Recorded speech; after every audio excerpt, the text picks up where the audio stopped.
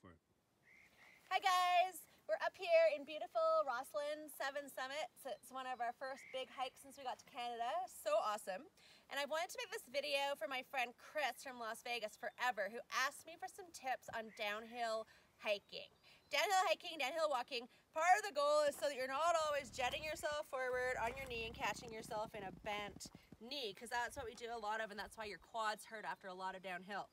So you can vary it a couple of ways, and I recommended varying all the ways because more variety is always a little easier for your body. So the first is you could just basically pelvic list your way down. So if you're not sure how to pelvic list, um, I've got um, a video of it that's up in my Facebook group. You can check it out. And so you just list on one side, transfer your weight, list down, and there's no knee bend at all. So you're a little slow while you practice this. Your steps might be smaller, but you're making some progress down the hill, no knee bend required. The other way is a little weirder for me, for my body, but it's the way Katy talks about a lot, like the, the side to side horse.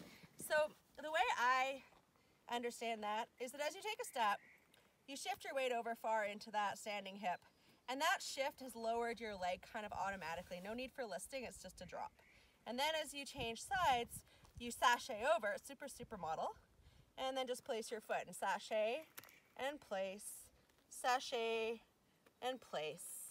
So it can be a little bit more subtle than that, but that's the basic mechanics that you want to start playing with to give your knees a little bit of a break. Another way that I find helpful when it's super steep is kind of sitting back, verticalizing my knees.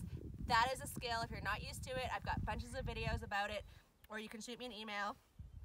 But you can verticalize and then you can kind of like just one-legged squat your way down. So there's lots of knee here, but it's not so bad because you're mostly using hamstring. So for really steep stuff, that's what I like to do.